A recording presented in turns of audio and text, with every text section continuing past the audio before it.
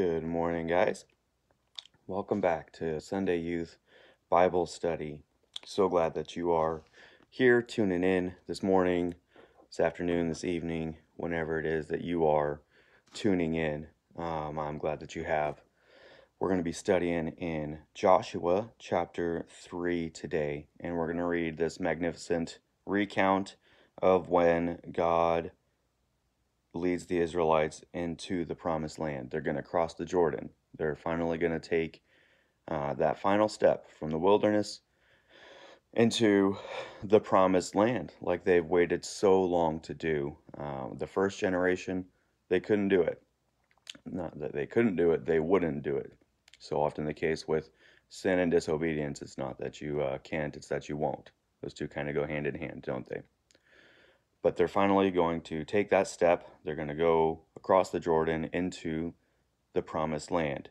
Joshua is now the leader. So uh, Moses has died, and God has anointed Joshua. He has raised him up to be the next leader, and he is going to show the people that Joshua is with God, that God is with Joshua, the way he was with Moses, that God is still with this people, that he is still their God, and he is still going to take care of them. He's still going to fight for them.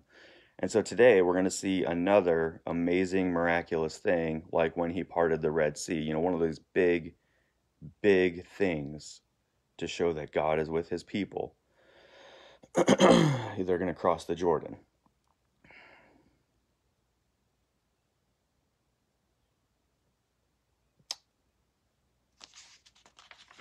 When you're going over this, when you're reading over these uh, all scripture, when you're reading over all scripture, um, today it just stands out to me. Make sure that you pay attention um, to to language. Make sure that you really are focused and paying attention to the tense of a word. Is it past tense? Is it future tense? Is it present tense? Make sure you're looking at the little things instead of glossing over it. You know, like I've said many times, it's not a book that you just read like any other book. Anytime that you're reading the Word of God, it is the Word of God. It's not something that you're just reading. This is something that you have to study. You're taking in each word. You're thinking about things like, you know,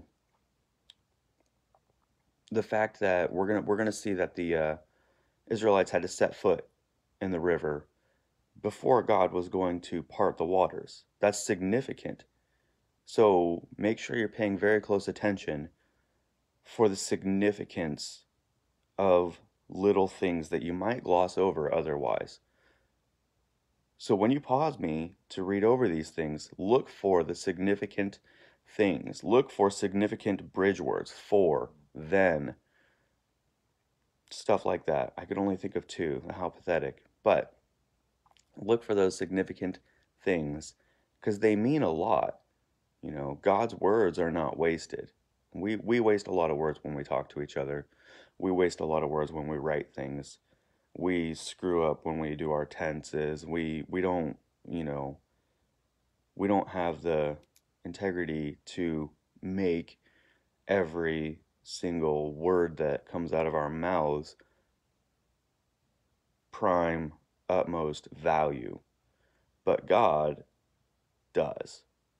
Every word that He's ever spoken is important and is valuable and it's got significance. So I've gone on about that enough. Pay attention to those things. It's super, super important. And it really, really will help. It'll help you to dig into God's Word. So, together, let's read over Joshua chapter 3, verses 5 through 8, and get our story started here.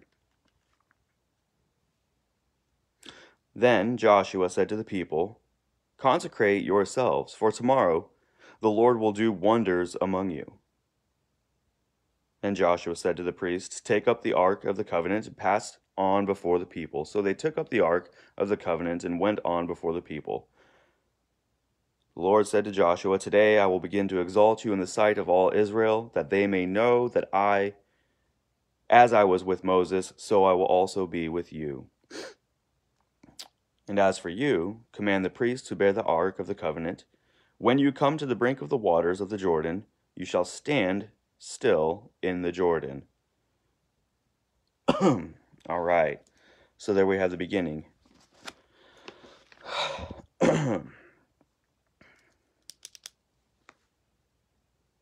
so as we're as we're thinking about this, what's the first thing that you notice? What's the first thing that pops out at you when you're reading that? You know, verse 5. Then Joshua said to the people, You see anything significant there? Consecrate yourselves, right? Consecrate yourselves. It's the day before they're going to go into the promised land. Something big is going to happen. And Joshua tells the people to consecrate themselves, sanctify yourselves. You know what that means? It means to set yourself apart. Now, they're not saving themselves. You know, clearly we know that when God does a saving work in us, He has set us apart. When He puts the Holy Spirit in you, He has set you apart to make you holy. And for the rest of your life, He will sanctify you and continue to cause you to be conformed to the image of His Son. So, what does He mean? Consecrate yourselves before going across the river, before stepping into the river.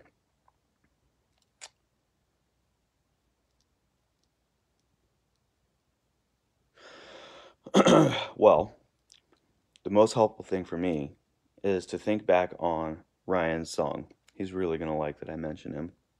Anyways, um, that song that we sing in church, I've been saving all my energy just to stand before you worshiping now. That is a way to consecrate yourself, to set yourself apart for God. You're not doing a saving work in yourself. That's not possible. You cannot do a saving work in yourself. I hope you know that. Only God can do a saving work in your heart. But what are you doing to make yourself ready to hear from God? What are you doing to make yourself ready to be with God? What are you doing to make yourself ready to witness the wonders of God? What are you doing to make yourself ready to receive from God?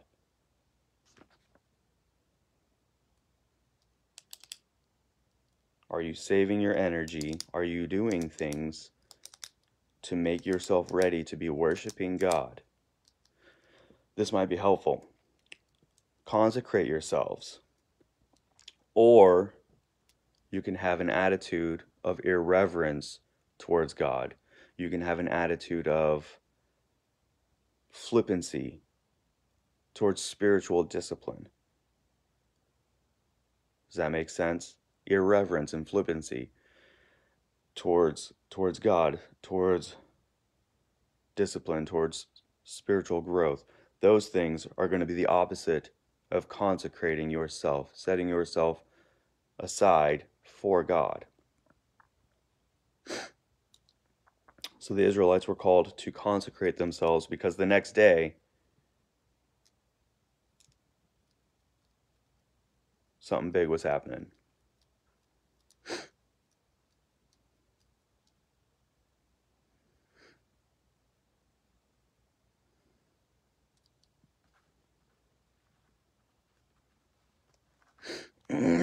God is going to work wonders among you tomorrow. That's what he says. And then we go on and we see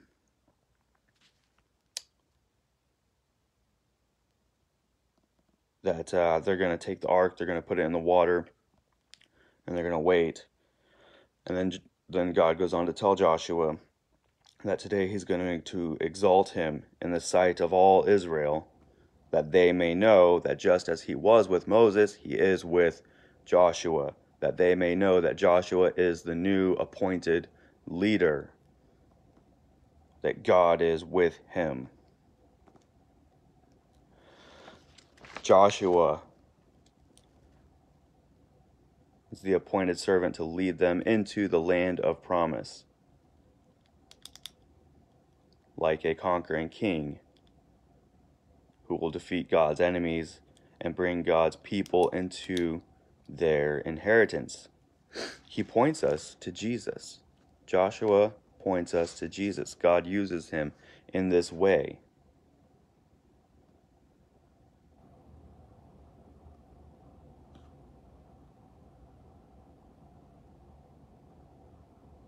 Joshua is leading his people into the land of promise across the Jordan.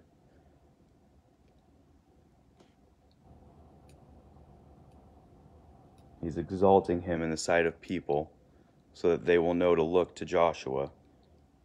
You know, from Jesus' birth to his ascension, God exalted him in the sight of all so that we would know that he is God's chosen leader for his people.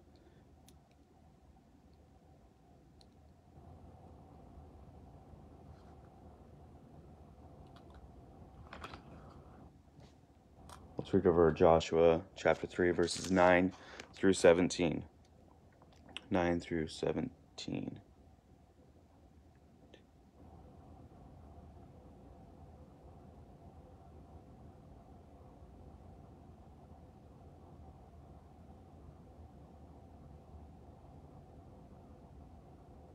and Joshua said to the people of Israel, Come here and listen to the words of the Lord your God.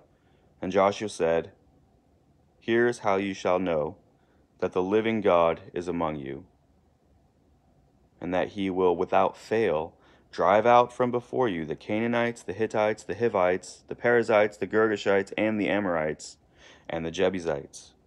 Behold, the ark of the covenant of the Lord of all the earth is passing over you before you into the Jordan.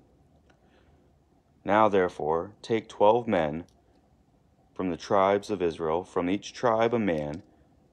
And when the soles of the feet of the priests bearing the ark of the Lord of all the earth shall rest in the waters of the Jordan, the waters of the Jordan shall be cut off from flowing, and the waters coming down from above shall stand in one heap. So when the people set out from their tents to pass over the Jordan with the priests bearing the ark of the covenant before the people. And as soon as those bearing the ark had come as far as the Jordan, and the feet of the priest bearing the ark were dipped in the brink of the water, now the Jordan overflows all its banks throughout the time of harvest. The waters coming down from above stood and rose up in a heap very far away at Adam, the city that is beside Zarethan and those flowing down towards the Sea of Arabah, the Salt Sea, were completely cut off. And the people passed over opposite Jericho. Now the priests, bearing the ark of the covenant of the Lord, stood firmly on dry ground in the midst of the Jordan, and all Israel was passing over on dry ground until all the nation finished passing over the Jordan.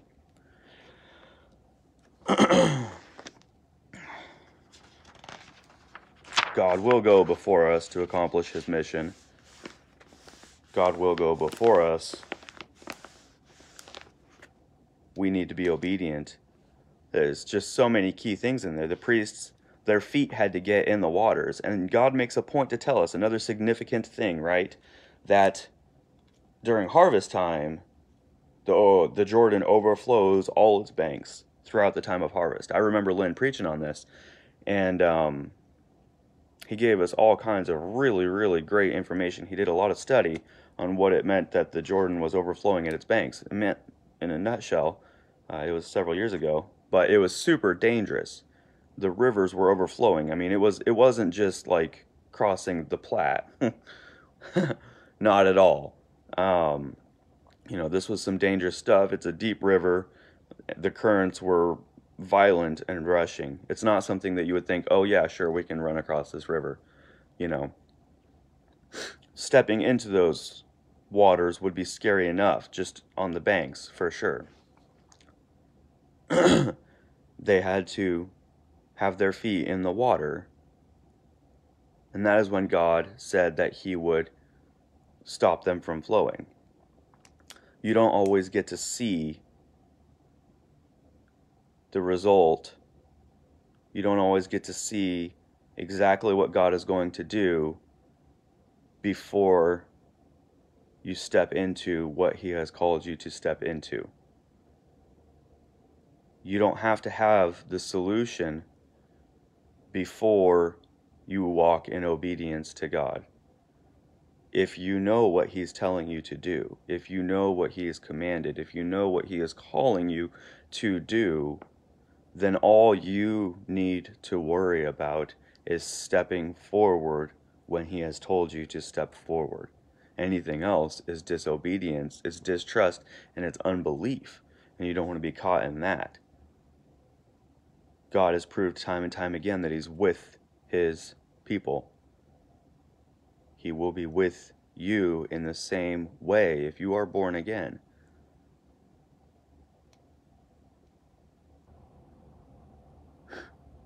And then, when they did that, when they were obedient and they stood in the water like that, so much different than the first generation, right? These guys are walking in obedience. They're doing exactly what God is telling them to do.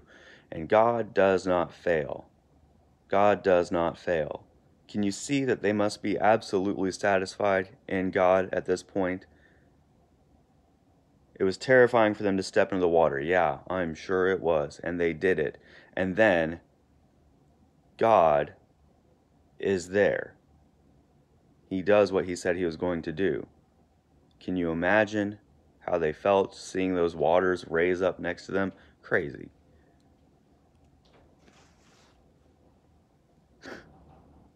It was a big thing. The whole nation got to see this.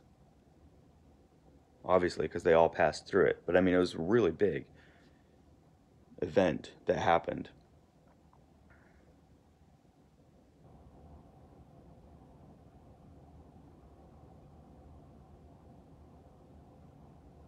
Now, the priests holding the ark, representing the presence of God being with them, stood firmly in the middle of the water. They didn't think, let's get out of here before the water comes back down. They did not waver in their commitment to trusting God. They didn't waver in their commitment to obedience. They stood firmly there, holding the ark in the middle of the river with millions of gallons of water above them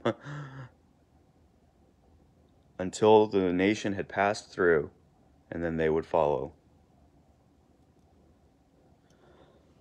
you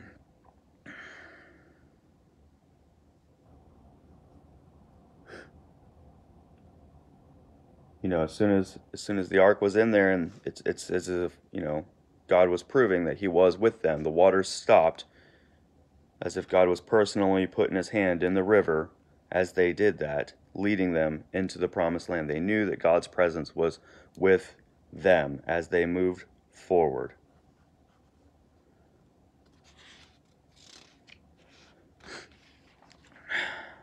we might think that God's presence isn't with us like it was with the Israelites back then.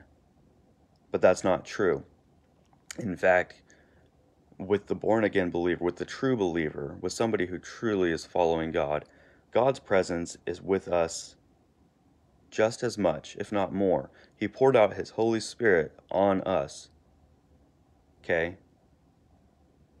At the day of Pentecost, He poured out His Holy Spirit onto His people. He has given us His own Spirit. Now the born again believer gets the indwelling Holy Spirit. God is always with us.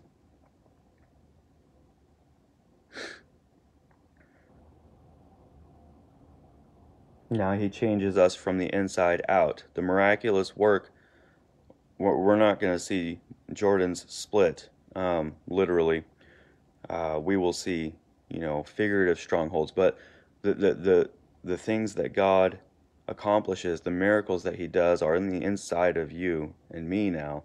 The strongholds that are taken down are strongholds of our heart, strongholds of sin that are conquered. The giants that are defeated are, are giants of sin and struggle that we're going to come across.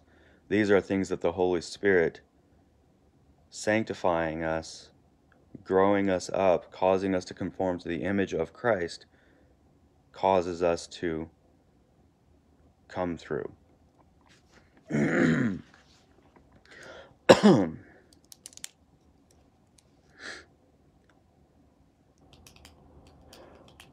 so let's read over chapter 4, 1 through 7. We're going to look at how we are called to remember the great things that God has done. When all the nation had finished passing over the Jordan, the Lord said to Joshua, Take twelve men from the people, each from from each tribe a man, and command them, saying, Take twelve stones from here out of the midst of the Jordan, and from the very place where the priest's feet stood firmly, and bring them over with you, and lay them down in the place where you lodge tonight. Then Joshua called the twelve men from the people of Israel, whom he had appointed, a man from each tribe. And Joshua said to them, Pass on before the ark of the Lord your God into the midst of the Jordan, and take up each of you a stone upon his shoulder, according to the number of the tribes of the people of Israel, this that this may be a sign among you.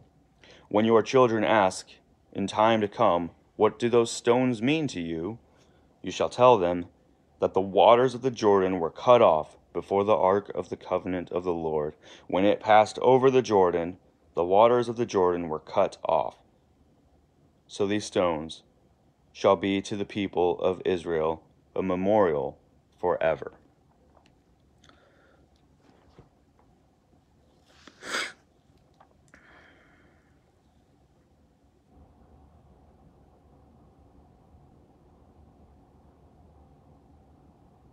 Consider the first generation. The first generation of Israelites being freed from Egypt there were the miracles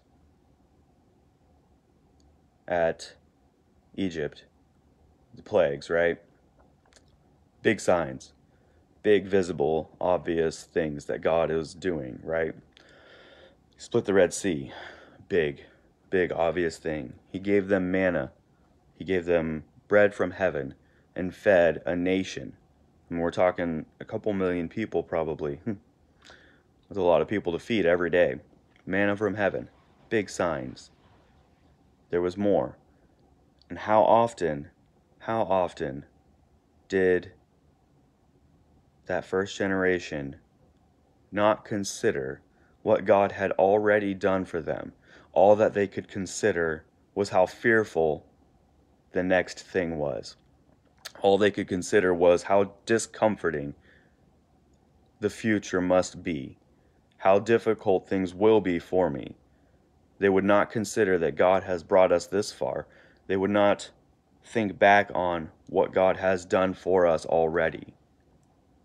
They, did, they, they didn't have a care to remember the work that God had done for them. God commands this next generation, this obedient generation thus far, to take stones from the very place where God did an amazing work to bring them into the Holy Land, to bring them into the promised land, to take stones as a memorial, to remember back on what God has done for them.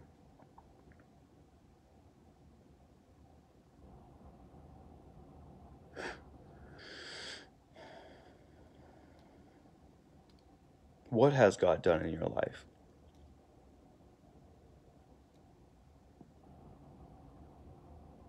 If you're a believer, what has God done in your life? Are you married? Do you know that your marriage is a memorial to God? It's intact because of him, not because not because of you, certainly. It's intact because of him. Do your children walk in the truth? Do you know that's a memorial to God? They walk in the truth because God has called them and hopefully you have walked in obedience to that to raise them that way. So consider this for yourself. Take time to pray about this. What are things that you need to think about and remember that God has brought you through? Because I guarantee you that God has given you plenty of reason to trust him. that seems like a pretty shallow way to put it, but I know that He has. you know, God is trustworthy, and He does more than He needs to to prove His trustworthiness to us. We need to step into the Jordan and know that He's going to show up, know that He's going to be there.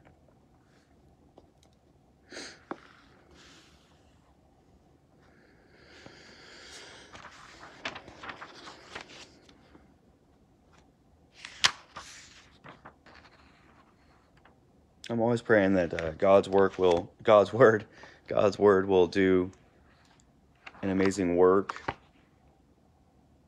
in your guys' hearts when you hear this. I'm praying for you guys, and uh, you know that's our that's our lesson for the week. So um, read over it a couple times, and uh, you know really think about those significant things that you see in there. Love you guys. Catch you next time.